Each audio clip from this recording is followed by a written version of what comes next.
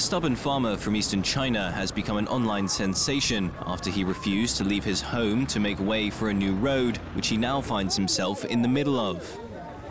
Whereas most of the village's other residents left four years ago to allow construction of the motorway, 67-year-old Luo Baogen has refused to budge, saying the compensation offered by the government of 260,000 yuan, that's nearly $42,000, would not afford him anything like his current five-story house where he lives with his wife.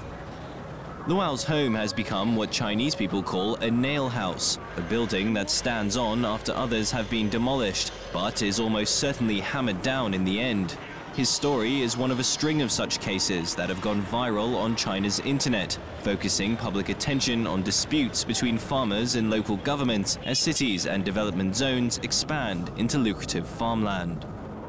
Luo's plight may be a sign of car-conscious China's growing wealth. A recent Ferrari parade in the city of Guangzhou marked the 20-year anniversary of the Italian carmaker's entry into the Chinese market, but also left commuters stuck in traffic, fuming as bus stops and roads were closed to make way for the luxury vehicles.